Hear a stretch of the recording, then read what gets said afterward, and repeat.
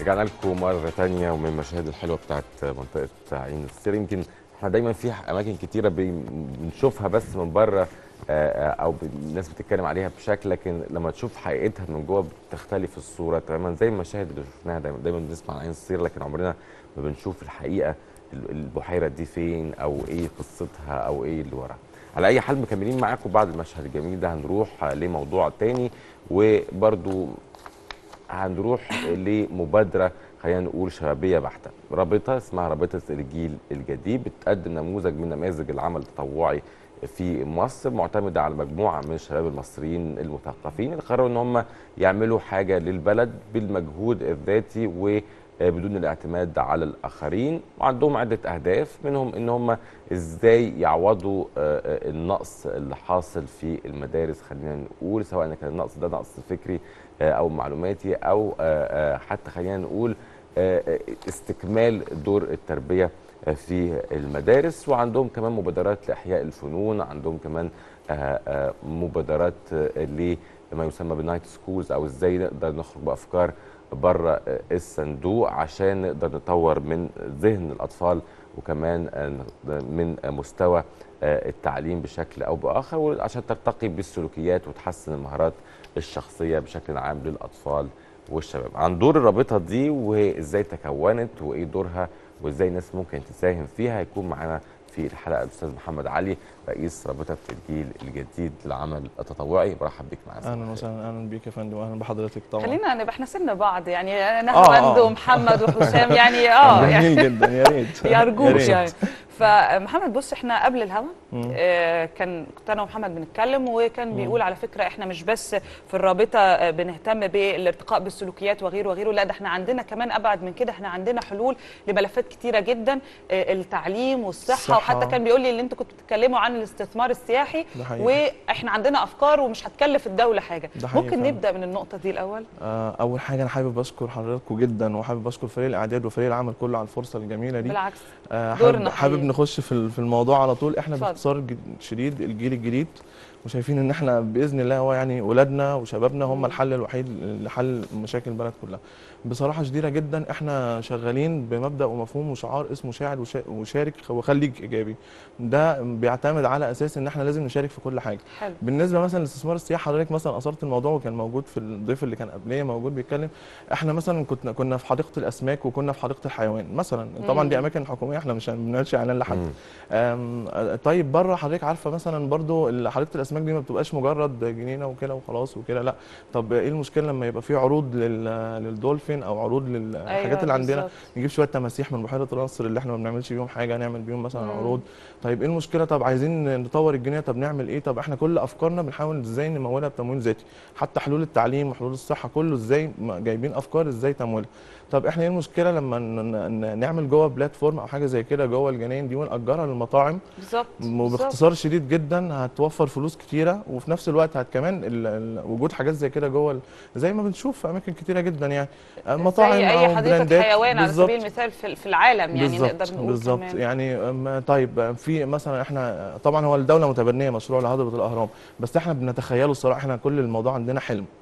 وإحنا على طول حالمين الصراحة وشايفين إن شاء الله المستقبل بتاعنا ده بأمر الله يعني ما فيهوش هزار. آه طيب ماشي الهرم ده إيه المشكلة؟ لما يبقى فيه زي ما بنشوف بره كده ملاهي على الطراز الفرعوني يبقى فيه برضه بلاتفورم يبقى فيه نوع من أنواع يعني الترفيه الجديد. والمرتبط بشكل الفرعوني الجميل بتاعنا ثقافتنا الفرعونية الجميلة يعني.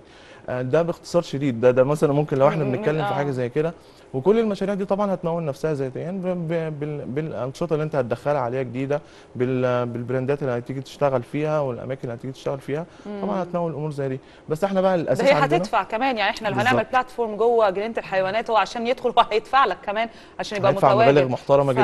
يعني لا كلام هيدفع محترم هيدفع مبالغ محترمة جدا صح. دي حضرتك ده إحنا كده أنا بتكلم معاك في سطور.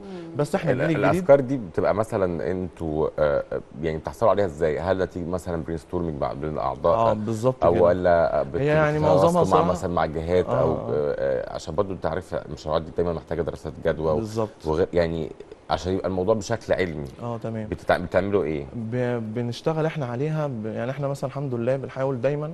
هو إحنا عندنا مبادرة اسمها اقرا كتاب وحضرتك ده مصطلح أجنبي اسمه read a book. أنت أي حد بره لما بيعوزك آه. تعرف أي حاجة فعندهم مصطلح طبعا شائع جدا read a book. انت أنت اقرا كتاب ودلوقتي طبعا عندهم الوسائل التعليمية بقى والمشاهدة والأفلام الوثائقية وال... وال... والت... يعني مثلا كنتوا برضو بتتكلموا على تدريب ال... ال... ال- العاملين في, في آه. قطاع السياحة مثلا. ففي برامج موجودة بره جاهزة.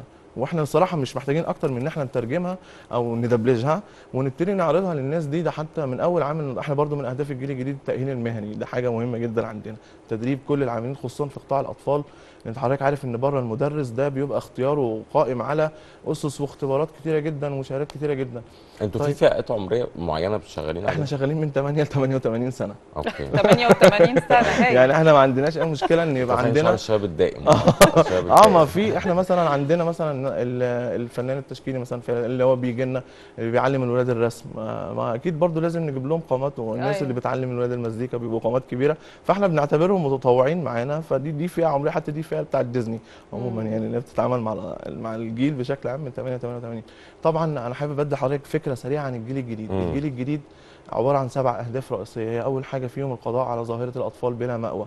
إحنا مش حابين خالص نشوف في مصر أطفال بلا مأوى أو متهربين من التعليم. وابتدينا نعمل جهود في, مدرسة مصر التحدي للدكتورة أماني هو اللي مديرتها وهي برضه متبرعة وما بتقبلش تبرعات كمان. وبتبتدي تحتوي الأطفال دول وبنعلمهم بأسلوب جديد كمان. إحنا طبعا بالنادي.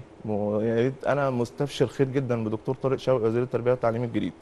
وحقيقي أنا متأكد إن هو الأفكار دي موجودة بس إحنا هو. محتاج اللي, اللي يساعد. يعني هو آه، لو عايز يلغي الثانوية العامة يعني دي. الأهالي محتاج إن هي طبعا تساعده بس هيقف له ناس طبعا المستفيدين من أيوه الدروس طبعا. طيب طب إحنا عندنا حل في دقيقتين مش هيكلف الدولة أي حاجة هو مجرد قرار. ال- ال night school المدارس لو استخدمت بالليل أنا هقول لحضرتك مثال عن طريق دولة. كوريا الجنوبية اللي هي الدولة رقم واحد في التعليم على مستوى في 2016 عندها اليوم الدراسي من الساعة 10 صباحا لغاية الساعة 10 مساء. فطبعا أنا المدرس بتاعي أنا طبعا المدرسين كلهم بيشتغلوا بالليل وبينزلوا عشان يحسنوا من دخلهم وده حق مشروع ليهم. طيب أنا ليه ما أخليش ال- ال- ال- ال- الحاجة زي كده تحت إشرافي وتحت رؤيتي كمان مثلا عندي آه، شاب عايز يدي كورسات إنجليش مثلا آه، ليه ما أجرلوش فصل في ال- في المدرسة مم. آه، عندي بره طبعا حضرتك عارف إن زي ما قلت من شوية التأهيل المهني لو في نجار أو حداد أو أي حد أقول لك ليه عشان باختصار عندنا. روتين وعشان تعمل ده روح حتى تصريح من الاداره التعليمية آه. الاداره التعليمية يقول لك بس نرجع للوزارة نطلع أصل ما بره أقدرش. أديك الوزاره طيب في حاجة هنعرض تانية. الأمر على معالي الوزير معالي. الوزير مشغول آه الشهر أو اللي هو زكي فندي. يعني آه، مشهور دي فندي على رأي الاستاذ. حاتم حيدر. دايما كان يقول زكي فندي. يقول لي زكي فندي دايما هيقف في طريقك. أقول له عشان تعمل مجموعة مد- مدرسية كانت بقرار والله العظيم. هو ده قرار. طيب ماشي. طيب آه، حضرتك مثلا إيه أنا أنا نفسي أشوف المدارس بتاعتنا من غير سور. يعني هو كده كده ملوش لازمة يعني.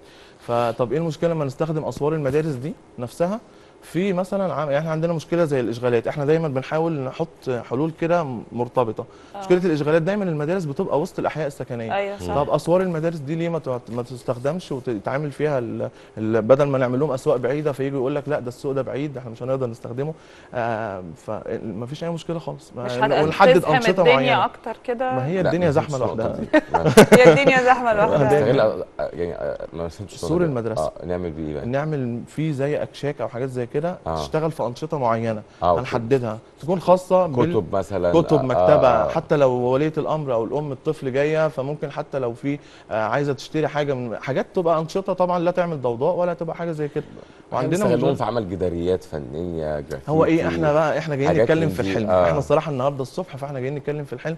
ال- ال- التفاصيل دي كلها إحنا مستعدين نناقشها ونلاقي لها حلول. يعني إحنا تمام. يعني عندنا دي حلول دي؟ بس الفكرة كويسة. الفكرة يعني ممكن يكون موجودة. في تغيير بعد كده اليوم الدراسي ليه ما أماكن يبقاش ليه ما يتأخرش ساعة؟ بما إن كل الناس بتيجي في أول ترم من هنا أو من هنا يجي يقول لك ده يا ساتر يا رب ده النهارده المدارس. فإيه المشكلة لما اليوم الدراسي يبدأ من الساعة 9 و10 زي أي دولة في العالم؟ وهم بي- بيحسبوها بجانب نفسي. طبعا كلنا كان عندنا أزمة الصحيان بدل المدرسة. لحد دلوقتي إحنا ولحد عندنا دلوقتي. يعني. فهم. جم قالوا إحنا ليه ما نسمعش لأولادنا ونشوف ال ال نفسيا إحنا إزاي نتعامل معاهم؟ طب ده كمان دليل ده هيفيد بقى في حاجات كتيرة جدا. تاخير اليوم الدراسي ده هيساعد الأم اللي هي بتبقى يعني زي ما بنقول كده بالبلدي مستربعة وعايزة هو أنا معاك تروح. أنت تقدم ممكن فعلا علشان مم. حتى ال- الزحمة والكلام ده. كله وفي نفس الوقت. تقلل آه، ساعات اليوم الدراسي أنا مش فاهمة ليه برضو طويل كده يعني. التعليم أصبح شيء إحنا بنكرهه أنت لازم تحبب الناس التعلم مش يعني الموضوع. الموضوع صعب حب... آه، بس أنا آه. عايزة أسألك مم. حاجة. و- وده ضمن برضو اللي أنت مم. بتتكلم فيه انت بتحاول تغير فكر إلى حد ما أو أداء موجود بس ما رحناش بقى للسلوكيات. إزاي نقدر نغير. سلوكيات. آه هي دي الأساس. الأساس. إحنا حضرتك السلوكيات هقول لك باختصار شديد جدا. كل أنشطتنا هدفها تنمية السلوك وإحنا بخت... ه- ههدي لحضرتك المثال. أنا أحب الأمثلة دايما. كويس. أنا لما ابني يروح المكتبة أنا بدعو كل أولياء الأمور لو سمحتوا. يعني وفروا فلوس الدروس الخصوصية وودوا اولادكم مكتبة ودي ابنك قصر الثقافة خليه يشارك في لعبة رياضية في نادي وديه دور عبادة يتعلم فيها قرآن يتعلم فيها دين يتعلم فيها ايا كان إيه. طيب ده كل ده بيعمل إيه؟ ده كل ده بيحسن سلوكه بالتدريج من غير ما هو بيشعر. مم. هو لما هيروح المكتبة هيكتسب صداقات جديدة. هيعرف ناس يمكن أفكارهم كويسة. فهيبتدي على الأقل لو هو منجذب في محيط مدرسته أو في محيط ال- المنطقة أو الشارع عنده منجذب لأصدقاء كده هيعرف لا أصدقاء تانية متحمسين إن هم يتعلموا إنجليش وكمبيوتر وحاجات زي كده إحنا المكاتب اللي هي الحكومية أيوة. كلها بتقدم أنشطة للأسف وهي المكاتب مهجورة يعني المكتبة يبقى فيها معمل كمبيوتر وبيستخدموا ثلاثة يعني والله عايز أقول. لك ال- يمكن في حتة المكتبات دي تحديدا أصلا من- أنا من جيل تربى أنا كنت بروح المكتبات العامة آه، مكتبه بالظبط. الطفل كانت حاجة كان عندنا حصة. المكتبة في المدرسة كمان أنا آه، تعليم كويس نشاط. وحتى. المكتبات العامة أنا كنت بطلع معاهم رحلات أحيانا زمان بالظبط. و... وكان بي... آه والله كان بي- بيجي يعمل لك مثلا مسابقة تلخيص مم. الكتب أكتر حد. هيلخص كتب وكلنا كلنا ابتدينا بال comics book كنت أنا. بعمل الحاجات دي وكنت. بشارك فيها دايما أنت أنت عارف بتشوف الحاجات دي أصلا بس أنت دلوقتي واضح من كلامك إن أنت عندك ذكريات سعيدة مع حاجة زي كده آه والله وعندك كمان يعني. واضح جدا لو كمان مؤثره على ليها شخصيته تأثير يعني شخصي. شايف ال- بالظبط ما إحنا لو ما كناش أكيد ما دي حاجة والله لسه عندي تقفيل محلي آه لا لا بس دي حاجة أكيد طبعا ساهمت في تكوين شخصيتك حتى من غير طبعاً. ما آه تشعر. دي حقيقة والله أنا لسه عندي كارنيه مكتبه الطفل إحنا بقى بنعمل. بقى حاجة جديدة شوية يعني بنعمل حاجة جديدة شوية نفسنا. القيم والأخلاق والسلوك يبقى في مادة اسمها قيم نفسنا يبقى في مادة اسمها معرفة. إحنا بننشر حب المعرفة. إحنا بقى بالنسبة للمكاتب عندنا مبادرة اقرا كتاب دي؟ اقرا كتاب دي قائمة على نشر حب المعرفة نفسه. يعني أنا بيجي لي الولاد بعمل معاهم إيه؟ بفرجهم على الاختراعات الحديثة مثلا. هم طبعا كلهم مبهورين بالهيروز بتوع بره والأبطال الخارقين وكده. فبره هم كانوا بيعملوا حاجة زي كده. أنا حابب أدي مثال بسيط. يعني كرتون بيستخدموه في التعليم بقى، بالظبط. يعني كرتون زي كابتن ماجد. مثلا يجيب آه. حضرتك من جنة طبعا. إحنا قلنا آه. كلنا كابتن ماجد ده طيب كابتن ماجد ده. كان ليه هدف من اليابان. بسام تحديداً. كان كان ليه هدف من اليابان. وراه آه، جبار جدا. هم أيوة. كانوا كسبوا تنظيم كأس العالم 2002 أيوه. فجم هم ما كانش الكورة دي عندهم أصلا لعبة ولا حد بيلعبها. آه. فالكرتون ده خلى خلى اليابان النهارده رقم 8 في تصنيف الفيفا خلى كل الولاد طبعا أصل أنا الولاد أنا مثلا برضو مع عمري ما أقول للولد روح المكتبة ما بالظبط. ينفعش لازم أنا أخده من إيده ومش مش ما أسيبوش هناك لا ده أنا لازم أحببه في المكان صح أبتدي أعرفه على الولاد أبتدي أقول له ده إحنا في المكتبة إحنا بنرسم إحنا بنعمل مسرح عرايس إحنا بنعمل. آه. النهارده بنزرع بنطلع النهارده في مسرح هتشارك في النهارده في مش عارف. النهارده هنطلع ننظف قدام الشارع النهارده أو النهارده. جاي ضيف فنان أو الله ينور عليك آه. بالظبط إحنا عندنا أربع الأنشطة دي كلها دي كلها بتستخدم في المدارس إحنا حابين ننقلها بتمصير شوية يعني إن أنا إزاي أستخدم أنا برضو حابب جدا إحنا لازم نخش في ال e-learning لأن العالم كله خلاص راح كده إحنا لازم نبدأ من حيث انتهى الآخرون. عندنا مشروع ال iPad في المدارس وحطوا ميزانية ليه؟ آه. قد كده أهو. آه. طب لو سمحتوا. ولا أول iPad مصري ممكن ال iPad. يتبدل بال smart board لو سمحتوا. يعني بس ال smart board هتبقى أرخص بكتير لأن هي هتبقى واحدة في كل فصل تمام؟ لازم ما نفصلش الولد عن التكنولوجيا اللي هو بيشوفها بره يخش جوه يشوف طباشير. ليه السمارت بورد بالتحديد؟ لأنها بتدي المدرس نفسه آه، مساعدة بتخليه يقدر يست- يستخدم الصورة في الشرح. بتخليه يقدر يستخدم الفيديو في الشرح. فده بيكون ليه تأثير أنا جربته على الولاد. بتشوف زي ما بيقولوا كده الاسبهلال يعني بال... أيوة. تلاقيهم طبعا أنت لو ما, ما أنت هم يعني عشان فعلا تاخد تفتح علوم دي وتنميها وتحط فيها بقى السلوك والقيمة والكلام ده كله لازم أول حاجة تحببهم في في, في التعليم تحببهم في المعرفة تحببهم في ان هم آه يبقوا بس يا. محمد الكلام ده ده كلام زي ما بتقول أنت بتحب تحلم وإحنا كلنا طبقناه. نفسنا ما هو طبقته فين في المدارس الخاصة طبقناه ولا في- في المدارس العامة يعني طبقته في مع المدارس. مين يعني المدرسين أصلا هم جاهزين إن هم يبقى عندهم الفكر اللي أنت بتتكلم فيه لأن. دي كارثة تانية لا هقول لحضرتك في كل مدرسة زي ما في مدرس وحش في مدرس كويس آه، ده في أي حاجة. في الدنيا يعني وحابب أوجه رسالة لكل مدرس في مصر لو بيسمعني يا ريت لو سمحت ركز معايا هقول لك جملة واحدة بس. أنت جايزتك الحقيقية مش الفلوس. أنا آه. عايزك تت- تتخيل نفسك كمان 20 سنة لما يقابلك شاب أنت مش فاكره يقف يبوس إيدك ويبوس راسك ويقول لك أنت ليك فضل عليا. انت مش هتبقى فاكر لكن هو هيبقى فاكرك لأن انت هتبقى اثرت في كل واحد فينا جوه عنده المدرس اللي بيتضايق منه وعنده المدرس اللي أنا هو في كان ناس لحد دلوقتي فعلا فاكراهم يعني ده حقيقي. هم في مدرسين بت- بتساهم بشكل صح. كبير جدا في تكوين عقد وفي مدرسين بيدوك الحلم ويدوك سؤال كنا سنينه اللي أول ما كنا بنشوف طفل زمان كنا بنقول له أنت نفسك تطلع إيه يا حبيبي؟ طيب مم. ماشي ما نفسك تطلع إيه يا حبيبي؟ دي كانت وراها أسلوب تربوي جبار.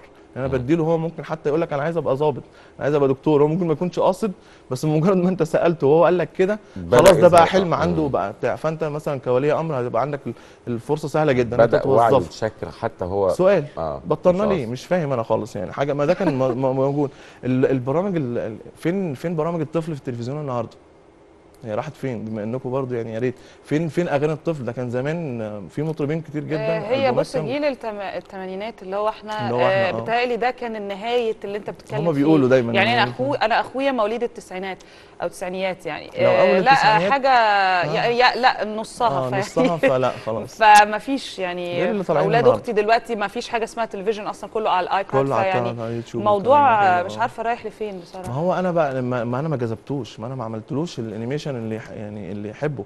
طب إحنا حضراتكم عارفين إن إحنا تاني دولة في العالم عملنا animation كان عندنا حاجة اسمها مش مش افندي الناس يا ريت تعمل على ال YouTube search عن مش مش افندي مم. عندنا كرتون من 1934 تاني تجربة مش بعد مش افندي لا مش مش افندي ده, ده تحفة. يعني أنا مش مم. قادر أقول لك على الجمال. إحنا عب- عباقره في الدبلجة من طول عمرنا الصراحة يعني. مم.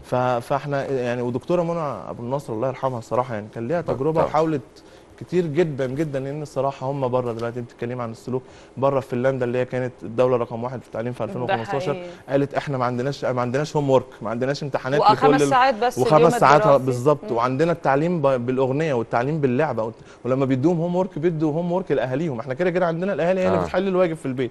طب ما أنا بقى ليه ما أخليش الأهالي تمارس نشاط؟ باجبرها إن هي تمارس نشاط. يعني أنا كلمنا النهارده عن الأهرامات. فتروح مع بابا تعمل search عن هم برضو ليهم مصطلح جميل جدا أنا حابب أقوله أنا ليه أقعد أحفظك في كتاب قد كده هو وأنت ممكن تقدر في في 20 ثانية تجيب المعلومة من على جوجل لازم أو ممكن نتغير. تتفرج على documentary مدة ساعة بالظبط. يغنيك عن كل يديك كتاب. يعني إحنا فعلا يعني حابين. جدا آه على حال- آه، آه اللي عاجبني في الموضوع إنه أنتوا مجموعة شباب بتمويل ذاتي. وفكركم آه كمان فكر متجدد متطور. ده اللي إحنا محتاجينه والأهم إن. أنتوا عايزين تدوا حاجة إحنا حلم اولادنا في رقبتنا مش هنسيبه خالص إحنا عندنا قضية الطفل القضية المنسية في مصر مش هنسيبها إن شاء الله طيب بإذن محمد الله أنا هشكرك آه، وبنشكرك أنا وحسام وخليني أقول لك أنت من النماذج اللي أوقات إحنا بنستضيف ناس كتير بس أنت من. النماذج اللي حقيقي أنا أعجبت في أنا بيها جدا يعني دماغكم لحضرتك. حلوة وإحنا محتاجين ده بلد إحنا محتاجة يا ده ريت لو إحنا عندنا حل لمشكلة المية وحل لمشكله إحنا الصحة ممكن بقى. نعمل لقاءات تانية زي ما حضرتك بس تحبي. البرنامج ح- وكلها أفكار آه. زي دي تم- زي دي بشكرك يا محمد وبنشكر حضراتكم. على متابعتنا ونشوفكم إن شاء الله بكرة أنا حسام في حلقة جديدة من صباح